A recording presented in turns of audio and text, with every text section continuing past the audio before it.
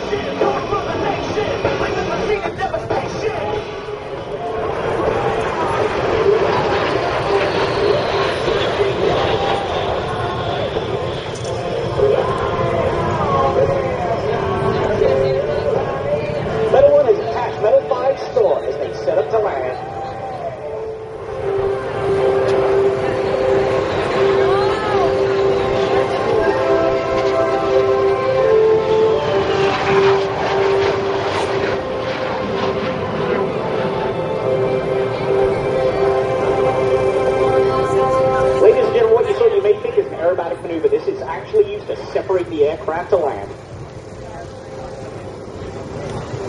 Metal One is instructed